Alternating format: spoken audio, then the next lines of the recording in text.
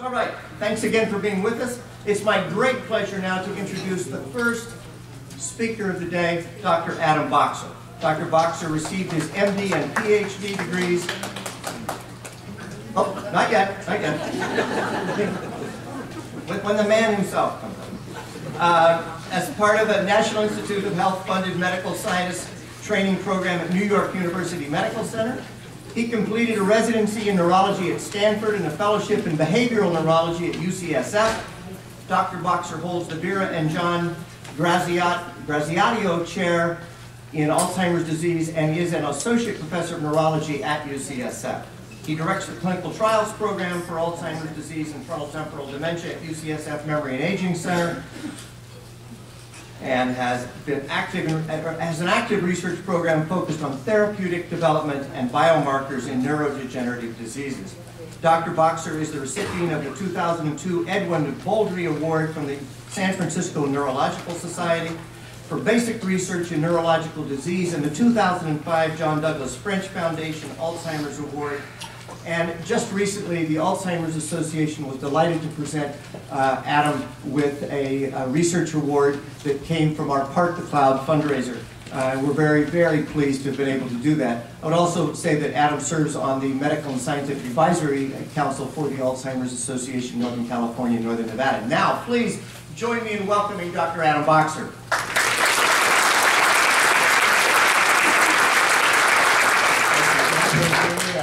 Two microphones, I guess, to, work on. Okay. And,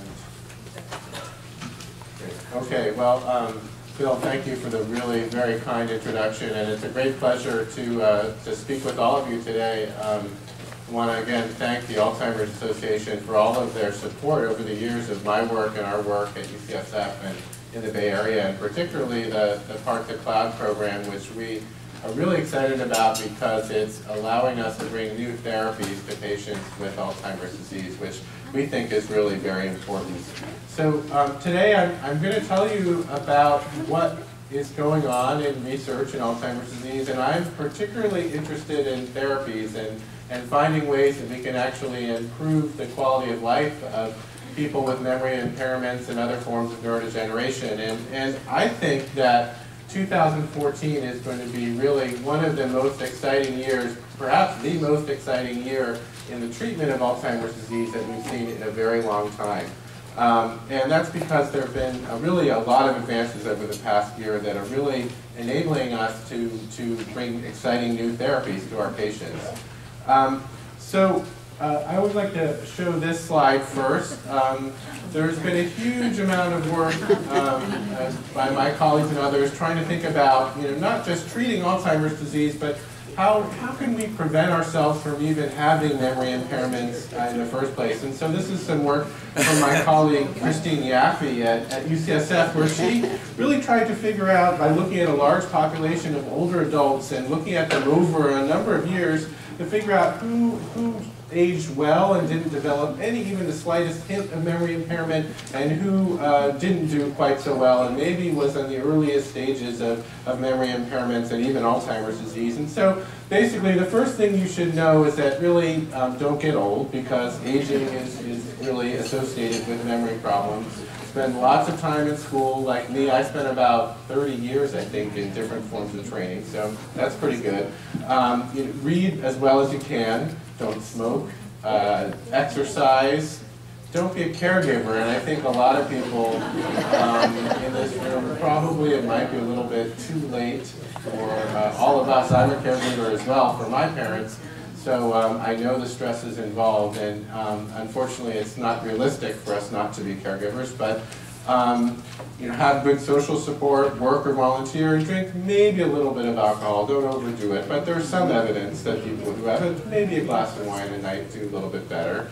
Um, and, and Kristine and her colleagues have really suggested that if we could all really adhere to all these rules and maybe a, a heart a healthy lifestyle, we might really prevent a large number of cases of Alzheimer's disease. And, and I think that that's a really laudable goal, and we're all, we should all keep these factors in mind as we get older. But um, you know, not everyone can do that, and even if we age successfully, some people just are not lucky for whatever reason, and they begin to develop memory problems. And um, eventually, the most common cause of memory problems in most older people is Alzheimer's disease. And I just thought I'd uh, put on my neurologist hat because I take care of patients in the clinic and just sort of um, give you a, a, sense of really how we diagnose and manage Alzheimer's disease in about one minute.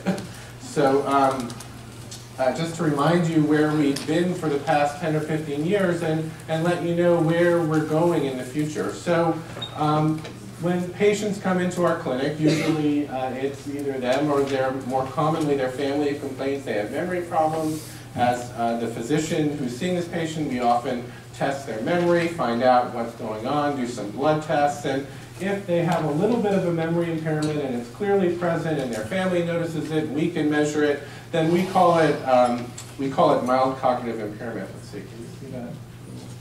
That's not coming up. Um, let's see if I can get a pointer here. Um,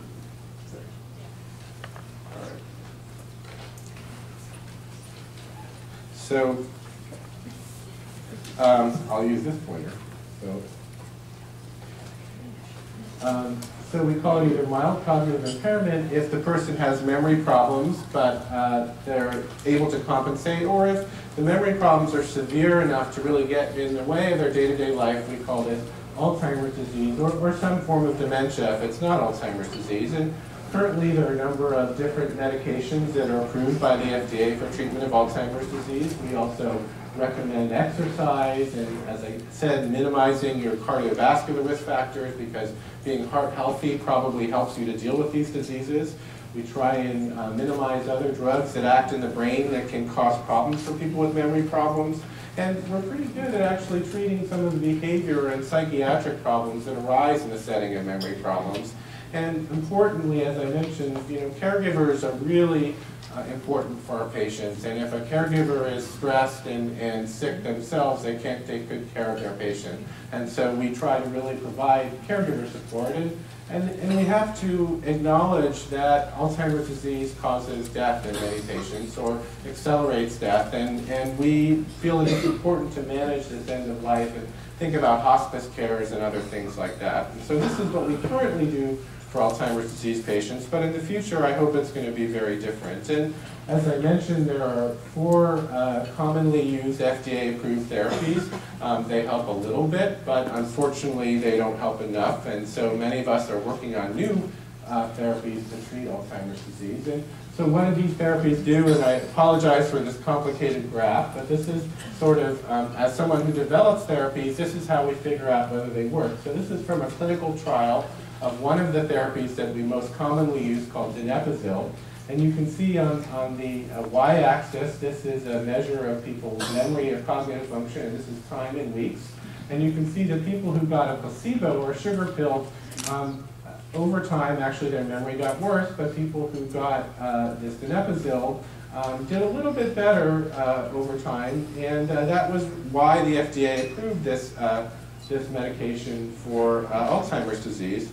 Um, but what we know is that although these drugs are, are a little bit helpful, they're probably not treating the underlying disease. And we know this because if we actually follow these patients a little bit longer, we find that even though initially the drugs appear to help, the patients uh, who are getting the drugs appear to decline at approximately the same rate as the people who got placebo.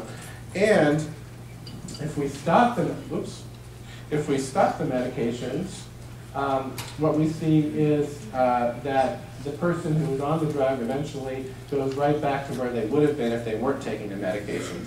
So we think these current medications help the brain to work a little bit more efficiently. They, they jazz up the brain a little bit, but they're not treating the underlying disease. And, and we're working to try and find better treatments. And just my last slide about medications, this being said, um, even though we don't, we think that these medications don't treat the underlying disease, we think that people should probably be taking them. And this is work from Oscar Lopez, just looking at a large number of patients in the, in the community, and looking at how long it took people with Alzheimer's disease to be placed in nursing home. And what he found is that people who actually took these medications, even though they're not perfect, um, were able to stay at home a lot longer. Um, so this is people who were staying at home a lot longer than people who did not take either of the medications. And so it suggests that although the medications aren't great, they are still something that people should be taking, and we recommend that most of our patients take this. And, um, this is a slide that I stole uh, from the Alzheimer's Association, and I showed a lot. And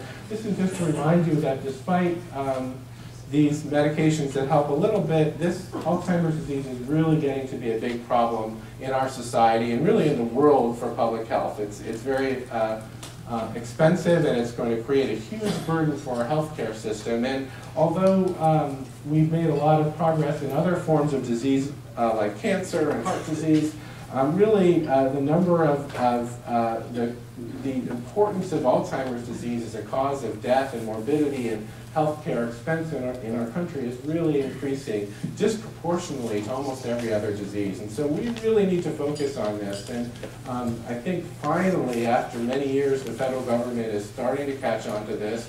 President Obama signed the National Alzheimer's Project Act, I believe it was last year, and this is starting to raise awareness that we really need to be devoting a, a lot more effort, both in terms of research, in terms of patient care, and, and really thinking about how, we, how our society wants to deal with this problem in the future.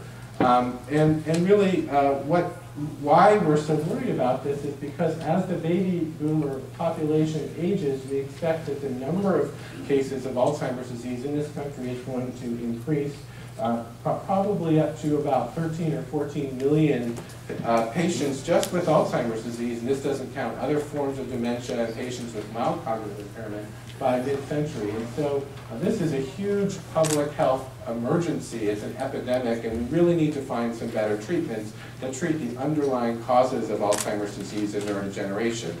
And so to do that, we're going to have to talk a little bit about the molecules of Alzheimer's disease and the proteins and what we see under the microscope. And just to orient you to this, uh, for over 100 years, people have been taking care of Alzheimer's patients and looking at their brains under the microscope and, and using um, very simple sort of stains with silver. Typically, we see two types of things under the microscope. One is uh, called uh, an amyloid plaque, which is this sort of black fried egg thing, and these other things are called neurofibrillary tangles. And these are really the hallmarks of Alzheimer's disease. And after about, let's say, 50 to 100 years of research, um, we've realized that there are two proteins that make up these, these things, these abnormal deposits that we see under the microscope in patients who die from Alzheimer's disease. One is called um, the beta amyloid protein, or amyloid, and that makes up these fried egg plaques. And they, in these tangles, there's another protein called tau. And, and I think what I'm going to tell you today is that these are really the targets that for the new drugs that we're developing for Alzheimer's disease. And we think that if we could block the accumulation either of the plaques or the tangles or both, that this would really be the cure we're looking for. And this would have a huge impact on future disease. And we've been aided uh, in our development of these drugs by our friends uh, in the mouse community. Uh, and so you can actually uh, take the genes that are that produce these uh, amyloid or tau and put them into a mouse using genetic engineering and create something called Mouseheimer's disease. And um, these are mice who develop plaques and tangles in their brain, and they get memory problems just like human Alzheimer's disease. They're not exactly like Alzheimer's disease, but they're very useful for developing drugs. So we can identify drugs, test them in Mouseheimer's, and if they cure Mouseheimer's, we think they may have a chance of curing Alzheimer's disease. And so that's been the approach over the past 10 or 15 years in developing new treatments for Alzheimer's disease. And, and as an aside, I should say, if you're a Mouseheimer's patient, you're in really good shape because we've cured Mouseheimer's disease probably two or three hundred times over the past decade. Um, and uh, I'm going to come back to that in just a minute. Unfortunately, many of those drugs haven't worked quite as well for human Alzheimer's disease, but we're starting to understand why that is, and we're refining our methods and approaches to treating Alzheimer's disease based on our experience.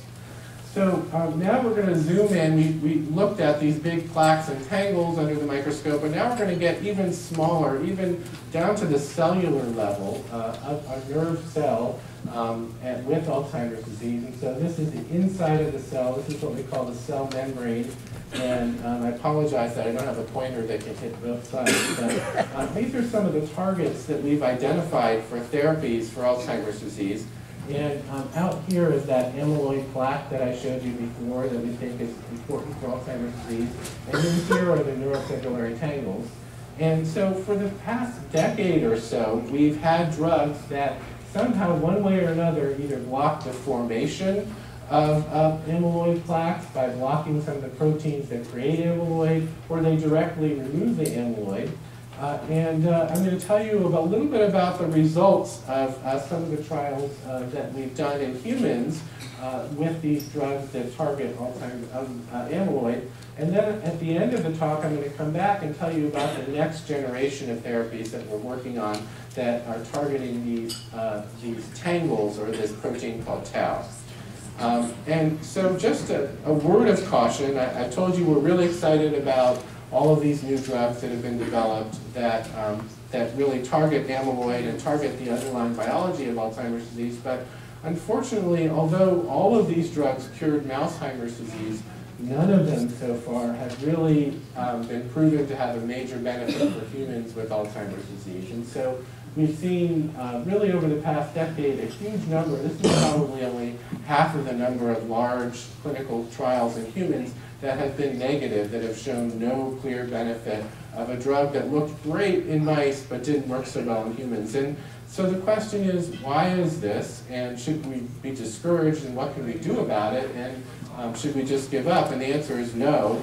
Um, despite all of these negative experiences, we've learned a lot, and we think we understand why many of these drugs didn't work. And, um, I don't know whether Ruth Gay is going to touch on this later, but I saw that uh, she's going to talk about the role of, I think, industry. So I thought I'd put in my industry slide. So um, I think we're in a little bit of a, a, a, unique, a unique situation in this country where we, it's so expensive to develop drugs for Alzheimer's disease that we have to partner with the federal government, with private foundations like the Alzheimer's Association, but also the pharmaceutical industry. And what we learned over the past decade was that many of the drugs that were rushed into large-scale clinical trials probably were, were done so basically on a gamble. There was a slight chance they might have worked, but really it was, the odds were not so good. And, it, and some of the companies that pushed them into clinical trials uh, were in a rush to make as much money as possible and really ended up putting sort of lipstick on, on pigs, on drugs that, that didn't didn't probably deserve to make it to the final stages of clinical trials. And so, so we've learned, and I think the pharmaceutical industry has learned that we need to be cautious, we need to be more rigorous about the science, we need to be really sure that when we take a, a drug into the final stages of human clinical trials that we're sure that it's really affecting the underlying biology of Alzheimer's disease. And so this is, despite all these failures after the past decade, we've learned how to do this a lot better. And I think in the future, we're going to be doing trials that have a much greater chance of success. So one of the, the silver linings of all these negative trials, the last one on my list of negative trials, was a drug called solanezumab. And this uh, is going to feature very prominently in all of uh, many of the new clinical trials that are going on now and that will happen in the next year or two. And this is a monoclonal antibody, so it's a protein similar to what your body would generate in response to an infection or a vaccine. So it's a protein that the immune system uses to clear um, infectious agents. And this time, uh, a company has developed a monoclonal antibody that actually clears the amyloid protein, those fried egg appearing things under the microscope from people's brains.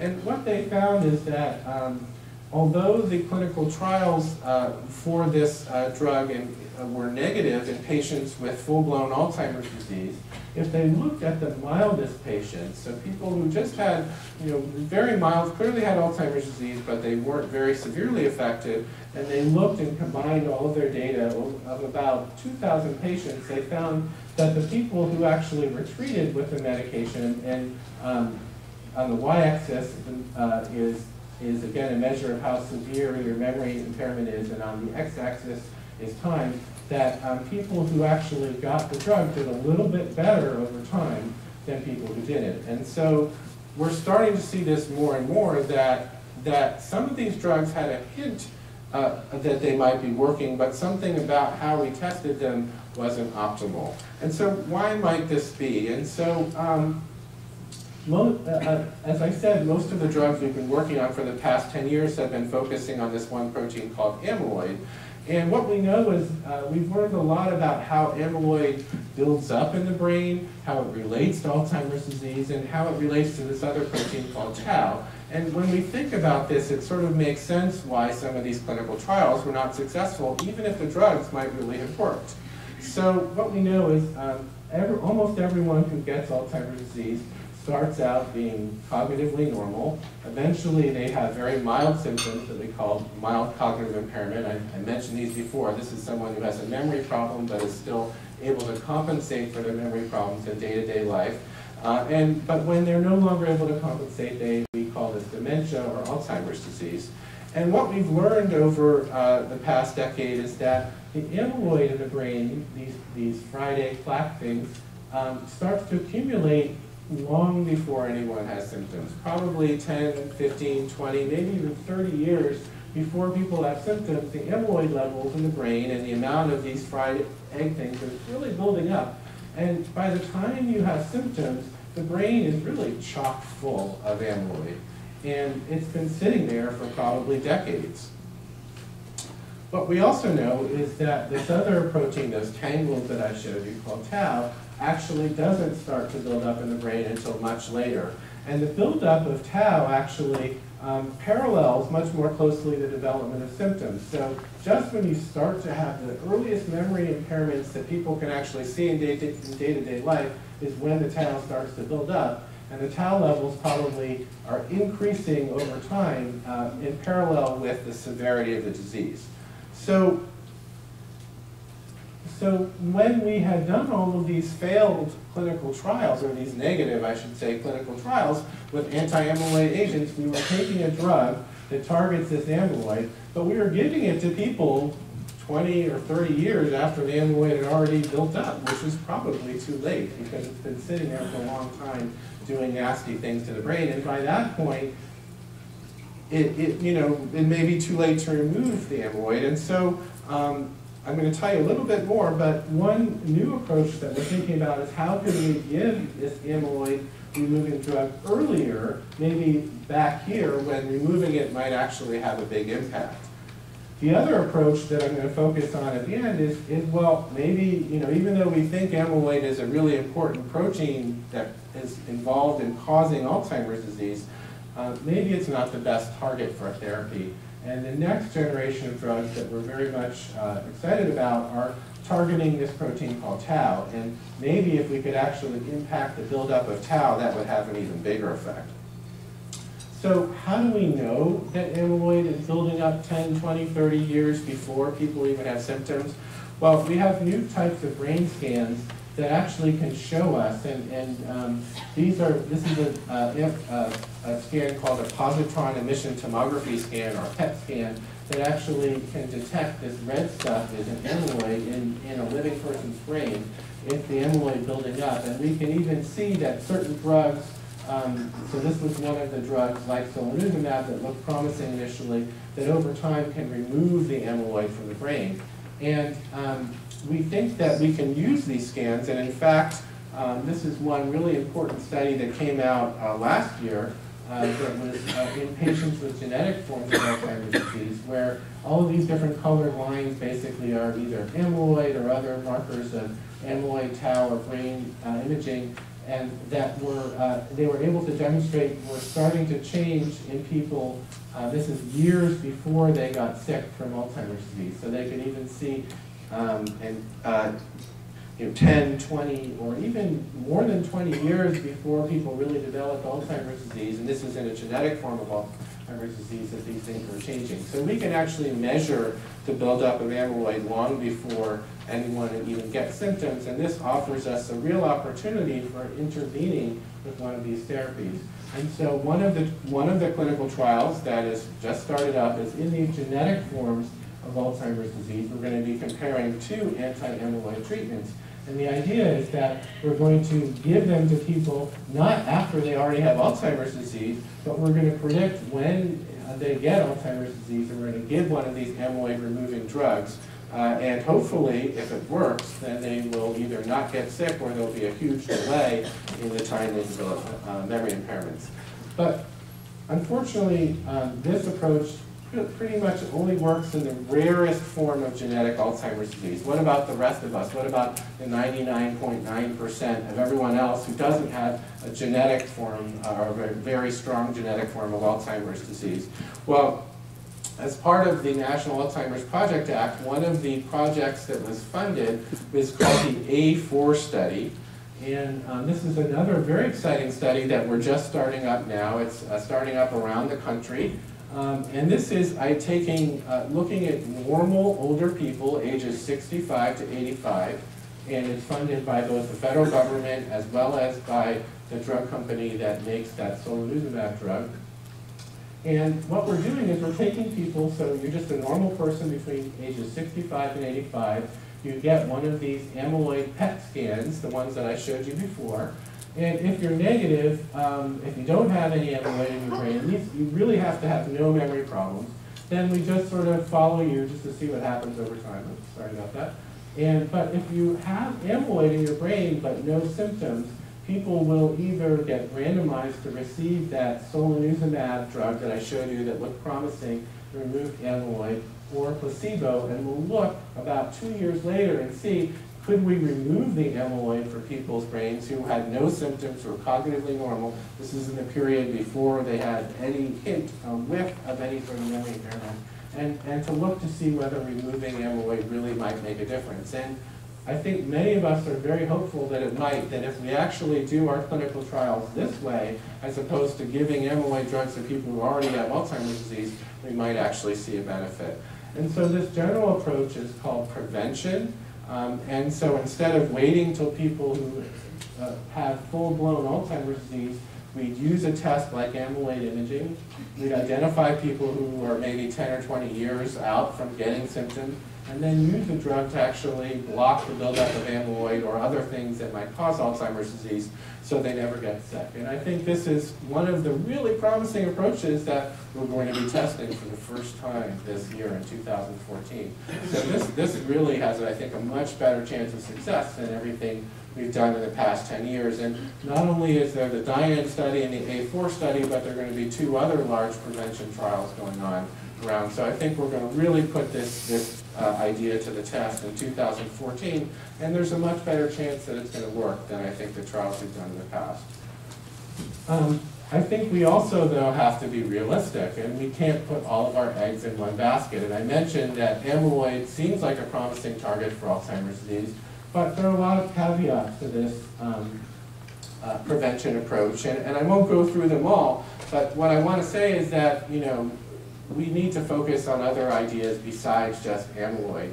And it may be that, as I showed you earlier, tau, this protein that forms the neurofibrillary tangles within the cells, is a much better target for a drug to treat Alzheimer's disease because the buildup of these neurofibrillary tangles uh, in cells and in the brain is much more tightly correlated with the development of symptoms uh, than uh, the buildup of amyloid. And so really, maybe just reducing tau levels enough might really have a much bigger impact than working on amyloid. So um, based on this idea, uh, many people have been working to develop uh, uh, drugs that target different aspects of tau biology. And I'll mention just the, the first ones we're going to be using and that we actually are using now uh, in patients. Uh, but we think that this may be even more promising than the drugs we've been testing um, in the past. So uh, the first one that I'm going to tell you about is uh, tau. Actually, let me go back one slide. So tau is an interesting protein, and what it does is it stabilizes these structures in the nerve cells. So here's a nerve cell. And these structures are called microtubules. And if you've seen a picture of a nerve cell, it looks like a beautiful tree with all of these branches. And what actually allows the nerve cell to maintain its beautiful structure with all the branches are these microtubules. And when you don't have tau, or when the tau gets sick, the microtubules fall apart and the, the cell starts to shrivel up and it can't communicate with other cells and then it dies. And at the very end, you get these neurofibrillary tangles. So one idea is that the reason why people have symptoms of Alzheimer's disease related to tau is that the, neuro, the microtubules are falling apart and that the cell can't function. And so um, the first uh, class of drugs that we're uh, using is actually designed to restore the stability of these microtubules. So here's another picture of a microtubule in a normal nerve cell. It looks like a nice tube. It's nice and stable and, and, can help the cell to maintain this nice shape. But when you get Alzheimer's disease, it starts to fall apart and all the little pieces fall apart. And so actually, with support of the Alzheimer's Association, the Northern California Alzheimer's Association, I should say, as part of the, part, the CLOUD program, we're testing a drug called TPI-287 in patients with Alzheimer's disease that actually what it does is it takes the place of this tau that's getting sick and it actually stabilizes the microtubules.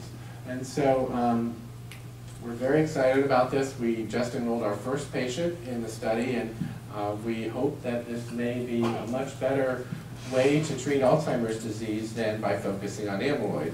Um, but we're not going to stop here. I mean, we need, there are a lot of other promising targets to tau. And I think probably the most excitement that we've had, um, also, again, just over the past year, in terms of tau, is learning a lot about how tau may, may be involved in neurodegeneration. And so one thing that's been really surprising to people is that tau, this toxic protein that forms those tangles, is probably actually spreading throughout the brain, and it's spreading from one nerve cell to another. So here's cell number one, here's a tangle, here's cell number two, and it's probably spreading um, through the synapses from one cell to another, and it's probably spreading um, first in Alzheimer's disease through the memory network in the brain. So they're just like there are networks in your computers and networks on the internet, there are networks in your brain, and when you get a little bit of this toxic tau in your memory network, it's probably spreading from one part of the memory network throughout the rest of the brain, and this may underlie why people have a certain progression of symptoms of Alzheimer's disease. Well, some of our colleagues have figured this out, and, and it's been a lot of work, but what they figured out is that um, when, the, when this toxic tau protein spreads from one cell to another, it's actually getting outside of the cell. And this means we can take one of those antibodies that I showed you before, and we can actually take these antibodies and block the spread from one cell to another. So here's, here's a slice of a brain uh, of a Alzheimer's mouse that's chock full of, of tau um, because it has Alzheimer's disease. And what uh, our colleague, my colleague Dave Holtzman and Marc Diamond at Washington University did is they developed antibodies that just block the spread from one cell to another. And they showed that, that this, the, the brain, the, the, uh, this mouse's brother, who got the antibodies that block the spread, was completely, um, almost completely protected from Alzheimer's disease. So, so we think this is really exciting, and we are also going to see human versions of these antibodies within 2014 uh, used to treat some of these diseases. And um, there are other examples, or this is just another uh, example of an antibody used in a different Alzheimer's mouse. I won't go through the details, but let's just say um, there's now many examples of this Mouseheimer antibody, this tau antibody, having a, a, real benefit in Alzheimer's disease. And we think that this is, you know, in my mind, one of the most exciting new developments in treating our patients with Alzheimer's disease. And if that weren't good enough, well, we, you know, I think this is really exciting in and of itself. But even better, just a couple months ago, we heard about a new imaging technique. So I showed you that in the past, um, we were really, we've really been aided in our efforts to develop um, uh, therapies, amyloid therapies, by having a scan called an amyloid PET scan that could detect amyloid in living brains. And so in this poem, uh, all the way on your, uh, um, over here on the, on the left, uh, is the, uh, this amyloid scan. So you can see here's a normal person, um, and here's a person with Alzheimer's disease filled with amyloid. But um, now a number of groups have developed the technology to also image tau in the brain. And this is something we thought we were never going to be able to do. And then just lo and behold, six months ago, we heard the first reports that someone was able to do this. And so the combination of drugs that can remove tau tau being a much better target for than amyloid uh, because it's much more closely linked to the symptoms of Alzheimer's disease. And now having the ability to actually look at it in human patients with Alzheimer's uh, and other forms of degeneration really is exciting. And, and we think that this, this really gives us great hope and a whole, you know, an order of magnitude more energy and excitement than we had um, you know, even a year ago for, for treating our patients. And so I'm, I'm super pumped about this. And I think, really, I really do believe that 2014 is going to be a great year for us. So I thought I would also mention, you know, we've learned our lessons and we've taken our licks with amyloid uh, clinical trials and in Alzheimer's disease. And we also have to think about, well, you know, we think tau is a great treatment and a great target for Alzheimer's disease, but maybe there are more efficient groups of people who we should be testing these tau therapies in. And I'll show you, tell you a minute why, but tau is not only a cause of Alzheimer's disease, but it causes a whole number of other both common and uncommon brain diseases. And one of the ones you may have heard a lot about in, in the NFL players is chronic traumatic encephalopathy. And that's actually a very severe form of tau-related disease, and occurs not only in, in athletes, but also in our veterans coming home from the different wars. And so um, we think that also developing tau therapies may find a use in some of these diseases. And conversely, some of these diseases may enable us to develop tau therapies more quickly that may find a role uh, that may actually be useful for treating Alzheimer's disease. And the reason why I say this is that another insight, another lesson we've learned over the past decade from all these failed Alzheimer's clinical trials is that Alzheimer's disease is not as simple as Alzheimer's disease. In mice, we can put amyloid and tau into the brain and say, okay, they have Alzheimer's disease. But if we look at all humans, and this is work from my colleague Julie Schneider at Rush uh, in, in uh, Chicago, um, if we look at everyone who comes into a uh, research neurology clinic with Alzheimer's disease and then follow them all the way to autopsy to the point where we take their brain out and look exactly, well, what did they really have under the microscope, the minority of people actually have pure Alzheimer's disease, less than 50% in our series. And uh, this has been confirmed in other series as well. And the majority of people have some combination of Alzheimer's disease, Parkinson's disease, strokes, and even other kinds of proteins. And so it may be that another reason why we weren't as successful as we would have liked to be with our other treatments was that there are other toxic proteins or strokes or other things getting in the way of measuring the benefits of one of these new treatments. And so we're taking, and so just to remind you, in Alzheimer's disease, there's all these different toxic proteins and things going on, but there are other diseases that involve tau where we can be pretty confident that there's nothing else that's causing the disease, it's just tau. And so at our program at UCSF, we're focusing particularly on these diseases called primary tauopathies because we know that if we test one of these tau-related drugs in this disease, it's not going to, the effects aren't going to be blocked by amyloid or or, or Parkinson's proteins or anything else. Um, and we also know that um, because these are rare diseases, that there are a, lot of uh, advantages actually doing clinical trials. And I won't go through all these, but um, even the FDA allows us to do accelerated forms of clinical trials. We know that these diseases are even more severe in some ways than Alzheimer's disease, so um, we can do a clinical trial more quickly and more efficiently. And um, Unfortunately, unlike Alzheimer's disease, we have nothing right now to treat these disorders. And um, this is uh, a slide that I, I, like to show from Lon Schneider, which is really, I think, a problem with our healthcare system in general, but it particularly applies to our patients with frontotemporal dementia, which is, you know, I think everyone in this country, we all just want to take a pill um, and to treat whatever that ails us. And for many diseases, really, this approach hasn't changed for about 2,000 years. So Galen was a famous uh, physician uh, in Roman times, 100, year 180 AD, and he basically had these remedies that, and he said, well, I'm a fantastic physician, I have drugs that are going to treat your Alzheimer's disease, and everyone who takes these diseases, who, who drink of this remedy, recover in a short time, except those for whom it does not work, help, who all die. Therefore, it's obvious that it only fails in incurable cases. And so, um, I'd like to say that we, that we don't do this anymore, but those of you who look on the internet for memory therapy probably have seen uh, some form of disclaimer uh, like this uh, for things like, I won't even go into them, but uh, for many treatments. And so uh, just to come back to these new diseases like frontotemporal dem- dementia and other pure tauopathies, this actually allows us to treat, to test these treatments without any effective therapies that might compete. Um, We've recently developed the methods to do clinical trials uh, in these populations. I won't go through the, the, the details, but just to, to uh, suffice it to say that we've tested some of the Alzheimer's drugs like memantine in these patients, and unfortunately, not only did it not help patients with FTD, uh, did memantine not help, but it probably made their cognitive function worse. So we're going to need specific drugs. I'm going to skip the next slide.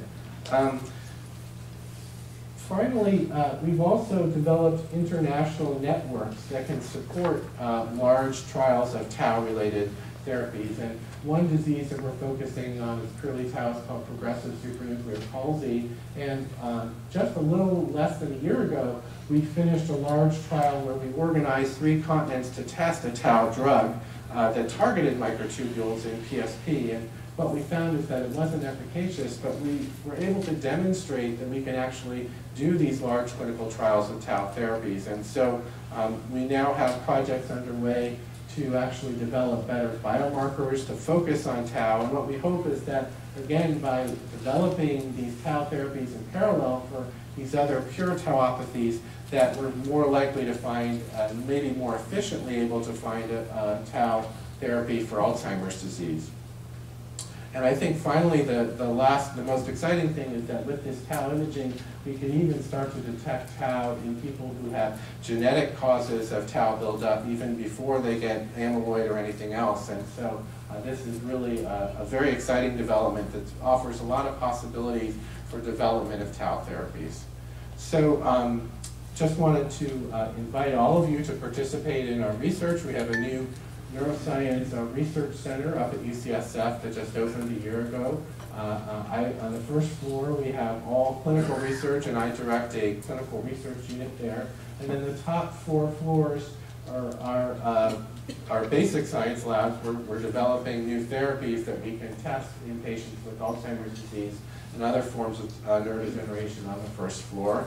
And this is our uh, neurosciences clinical research unit. This is that I direct. This is the waiting room where you can uh, come and sit, and this is the hallway, the lobby of our building. And inside our clinical research unit, we have two MRI scanners uh, and all kinds of specialized equipment where we'll really be able to tell with much better accuracy, much better, um, much more better sensitivity than in the past whether any of these drugs work. Uh, and so with that, I'm just going to end, and I'm going to thank uh, all of you for your attention and your patience with me and uh, many different people who've helped with all the different work that I've showed you, and particularly wanted to thank the Alzheimer's Association for inviting me to speak to you and for their support of all of our work, and uh, thank you very much.